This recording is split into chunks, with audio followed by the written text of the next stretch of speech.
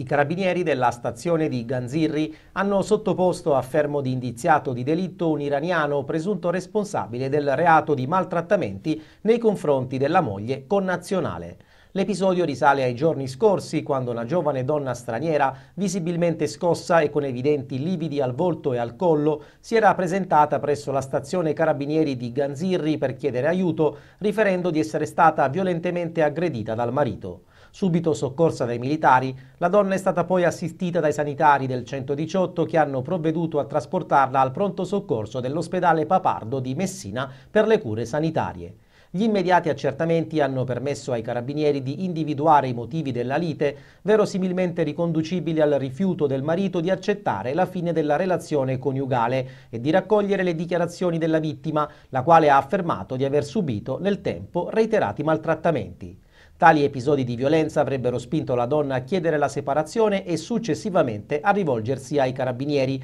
soprattutto dopo che al culmine di uno degli ultimi litigi aveva subito un tentativo di strangolamento. Sulla scorta del grave quadro indiziario emesso dalle attività compiute dai carabinieri di Messina Ganzirri, il giudice per le indagini preliminari di Messina, in sede di convalida del fermo, ha adottato l'emissione della misura cautelare e l'uomo è stato ristretto nel carcere di Messina Gazzi.